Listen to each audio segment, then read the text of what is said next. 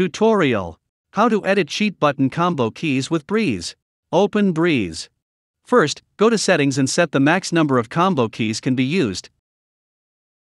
The default is set to 2. Then go to Advanced Cheat menu. Highlight the button cheat you want to change and choose Edit Cheat. Highlight the line that begins with 8 and choose ASM Key Combo Edit. It will ask you to press the number of keys depending on what number you set in settings, in this case, 2, so push any two buttons. If you want to use less keys than the set number in settings, press the same button key twice will register as two button press. After done editing, choose Save. Then choose Write Cheat to ATM to save the edited back to the cheat file.